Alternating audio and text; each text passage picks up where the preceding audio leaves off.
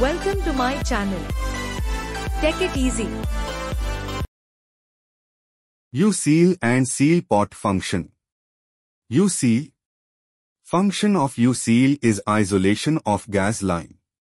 But it is not considered as a positive isolation. Seal pot or drip pot.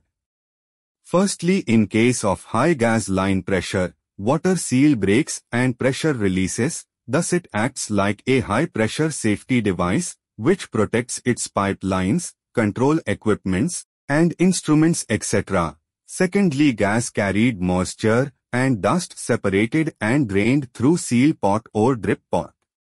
U-seal and seal pot important parts. U-seal Industrial water make up line with on-off valve, manual or auto. U-seal overflow line with on-off valve.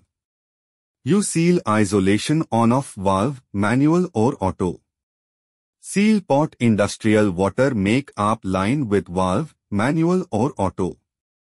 Seal pot drain valve for cleaning seal pot bottom dust jam. Taking U-seal off line operation. Safety hazards.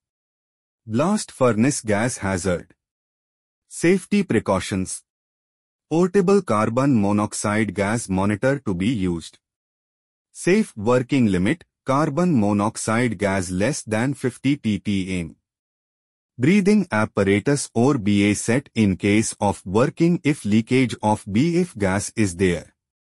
Keep oxy pack kit for immediate remedial.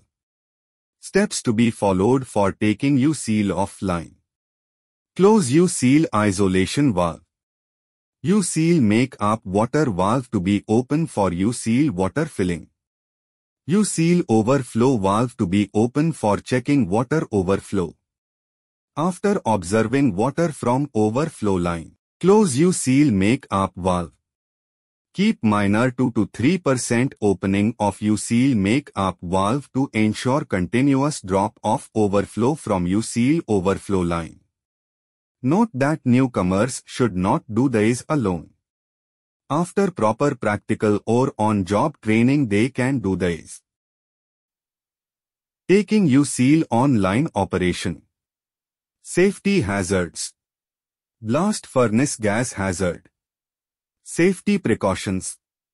Portable carbon monoxide gas monitor to be used. Safe working limit carbon monoxide gas less than 50 ppm. Breathing apparatus or BA set in case of working if leakage of BF gas is there.